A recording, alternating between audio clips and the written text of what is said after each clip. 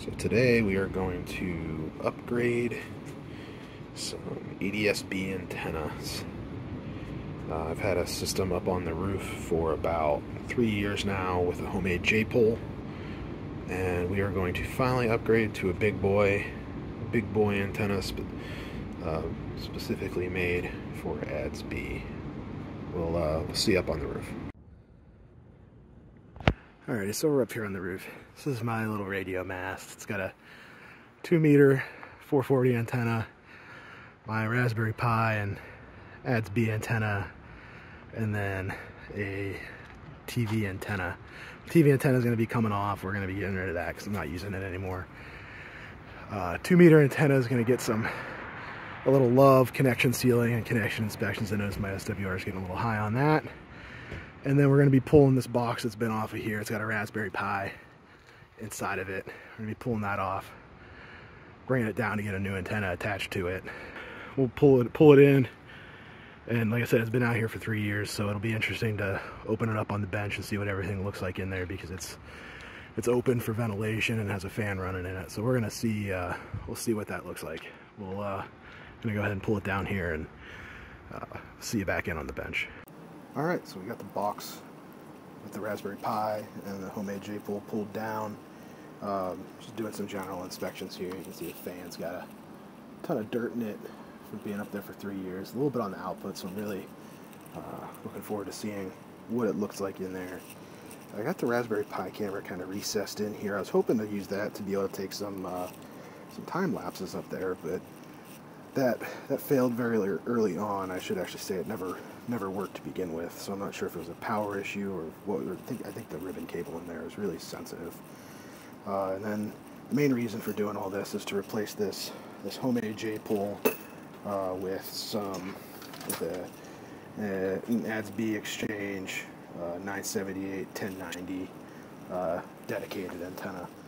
Um, so I'm hoping to see a little bit a little bit of a, uh, a signal improvement there since this J-pole was whipped up from scrap, never had uh, any kind of an SWR uh, check on it and any kind of tuning just because I lack, lacked the equipment and was frankly too lazy at the time.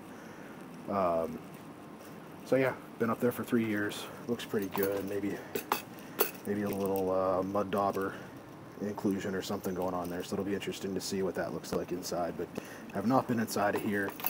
Uh, fan still works, which is pretty sweet. Uh, big plug for Noctua fans. Uh, it's been maintenance free, hassle free, and hopefully it'll keep going uh, for the life of this little box. But uh, I'm going to go ahead and pull this open and uh, see what it looks inside. Okay, so Tim from the future here. I got you guys up on a tripod and I set up some new recording gear, really just a uh, Bluetooth headset because I was sick of using this wired headset that I'm showing there, but it turns out that the Bluetooth audio quality is terrible. So wired headset's the way, and or dubbing from the future like I'm doing now. What we're gonna do, we're gonna go ahead and tear into this here, check out the inside, and uh, see how it looks.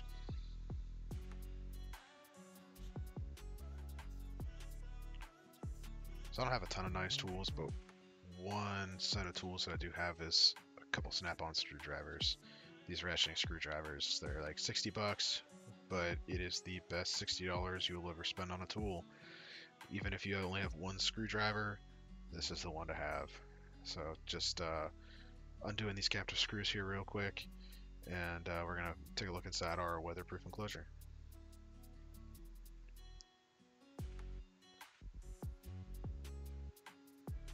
So first thing I noticed there, camera cables disconnected. I'm pretty sure I did that. Uh, but when I hung it up the first time, just because the camera was not working. So here's kind of a little summary of what we're looking at. We got a fan uh, for uh, pulling air into the enclosure cool things. Uh, the things heating up in there is an issue I had early on. Once I installed the fan, I never had an issue.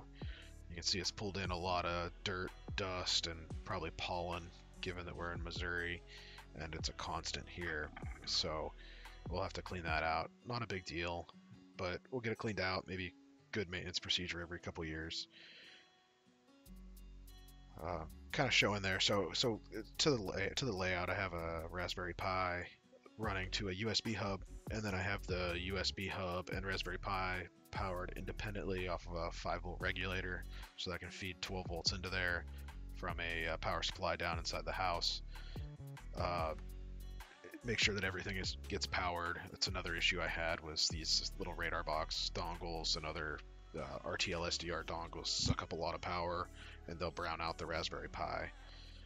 Uh, ignore the watch issues I'm having there, but a quick little overview. It's a, it was a week. This was a quick weekend project for me, so it's kind of stuff that I had laying around at the time. But it ended up working out really well, and for having been up there three years without ever being touched, this thing held up really well. There's no corrosion, uh, which tells me it's been pretty dry, if if not always dry in there.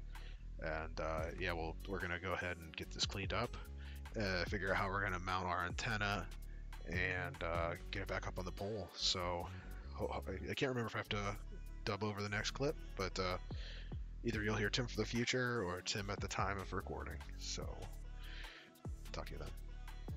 Editing Tim here again. Got some sped up video. I'm gonna kind of show tearing apart the box and removing the antenna and ADS-B dongle. So it's just a standard ADS-B RadarBox dongle, nothing too special. This one runs pretty cool, which is another reason why I used it over some of the other other dongles. Uh, and then the antenna is just attached to the side using some PVC pipe clamps from Home Depot. So nothing too special there. It's just a PVC pipe with two end caps and a 3D printed spacer uh, inside holding the J pole that I made from a coat hanger. I'm going and pulling off the uh, end cap, and you can see a little coil of wire there, or a coil of coax, uh, and then the coat hanger J pole. So it's J pole lengths, just used uh, sized using an antenna calculator, so nothing too crazy there. I didn't do any tuning or uh, adjustments. I probably could have, you know, trimmed it and adjusted it uh, based on the distances and uh, reception that I was receiving. But that's a lot of work to go up and down the roof, trim, adjust, check your distances and your reception, and then uh, rinse and repeat. So I didn't do it. So I'm just pulling out the uh, 3D printed spacer that I have there that um, was used to hold hold that the antenna inside of the PVC pipe. Uh, I have some better equipment coming. I mean, relatively speaking, it's a Nano VNA, so I'm looking forward to being able to see where this antenna actually resonates and uh, how close I actually was. I uh, I don't think I was very close, but it's worked well for the past three years. So uh, see the next clip. All right, we're all cleaned up and uh, just figuring out how I want to mount my antenna here. The camera, throwing in the hat. I think the module's dead. Uh, no matter what I what I could do, I just kept getting errors. Uh, apparently these are super static sensitive, and my guess is I probably hooked it up with the Pi, Pi running, fried it. So uh, don't do that. Um, I'm gonna go ahead and get this antenna mounted. This thing came with just massive. I think this is like maybe M M8 uh, attach hardware, but I'm not going to use these because I'm not going to be mounting it directly to the pole. I'm going to mount it to the case. I'm going to use use this existing plate. We're to have some just random image hardware I found. We're just to mount that to there. It's absolutely overkill going into plastic, but uh, this isn't a this is a throw together project, not uh, something a, ton of planning has gone into. So let's go ahead and get that hooked up.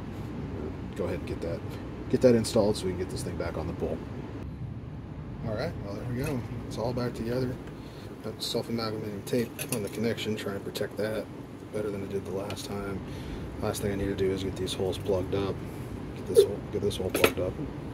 Fan's going. She's powered up. I'm gonna go uh, check remote in, check the connection, make sure I'm at least getting getting some signal, even the dome in the basement. Should at least have a couple jets. Uh, before she goes back up on the pole. All right. We're reinstalled. This antenna's taller and I don't have that uh, um, TV antenna on the pole anymore, so I was able to pull it, locate it down a little further. Um, Still not the best setup because it's got it's gonna be blanked looking south by this uh, by the actual pole itself. But we'll see how we'll see how it works. She's up there. I'm gonna go down, go down and get it fired. Actually, I got a kind of a little issue with uh, some wasps I gotta take care of first. We're gonna go down, get it fired up, and see if see if we're seeing the improvement that I'm hoping for. So uh, we'll catch you. We'll probably be looking at my computer screen when we come back. Okay, so we're back at the PC, uh, as I kind of said we would be uh, a little later in the afternoon here, just checking up on FlightAware and uh, this sky view that they, they provide. Uh, so this is all coming from the antenna that we just upgraded. And I gotta say, I'm, I'm pretty happy, pretty happy with what I'm seeing. Um, this view previously, we would almost never see anything outside of this 100 nautical mile range. Uh, now we're seeing, you know, out past uh, past 150 nautical miles, um, tracking stuff almost over Kansas City from uh, from St. Louis, which is pretty sweet if you really think about it. Uh, we still have some some blanking issues kind of down here to the uh, to the southwest, um, and that's kind of you can kind of kind of see based on um, what we what we would expect to be seeing. Um, there's some lower altitude stuff, but 20,000 feet should still be picking picking him up. Uh, but for the most part, we're still we're still getting pretty decent view down there. So overall, overall, I think I'm happy. I think we're going to see some some big improvements here compared to what we've seen previously. Um, pulling into the other uh, the other view here, um, just to kind of look at coverage. So we can look at we can look at the last 24 hours here, and you can see we're we're picking you know 200 250 miles.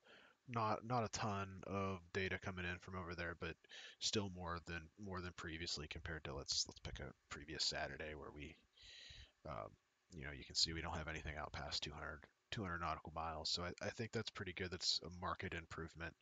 Um, already, which is is pretty awesome. And I'm gonna look and uh, enjoy watching and seeing how that uh, how that proliferates over time. So if you're up in the air about you know running one of those ADS-B exchange antennas, um, I think it's probably well worth the money, especially if you're actually trying to reach out there and uh, uh, really optimize your uh, feeders uh, feeder's range and try and get as many many positions in aircraft as possible. So uh, if you're just trying, if you're just messing around and you know you have maybe your feeder mounted down inside your house, or you know you're not trying to optimize things as much, maybe maybe not worth it. Maybe stick with a homemade antenna.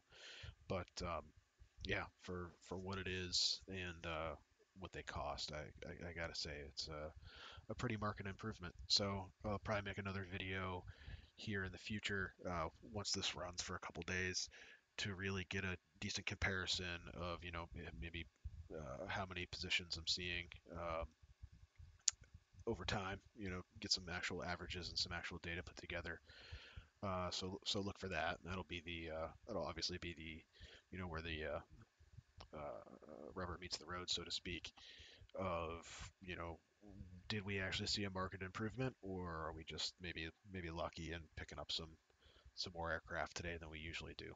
But um, until then, uh, we'll, we'll be talking to you.